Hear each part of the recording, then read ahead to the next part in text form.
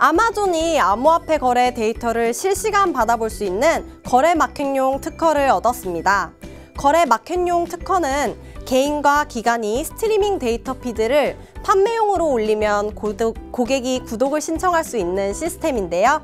개발자들은 실시간으로 대시보드를 구축하고 알림을 설정할 수 있으며 영업상의 결정을 실시간으로 내릴 수도 있습니다. 아마존의 이 같은 행보가 암호화폐 시장의 진입으로 이어지길 기대해 봅니다.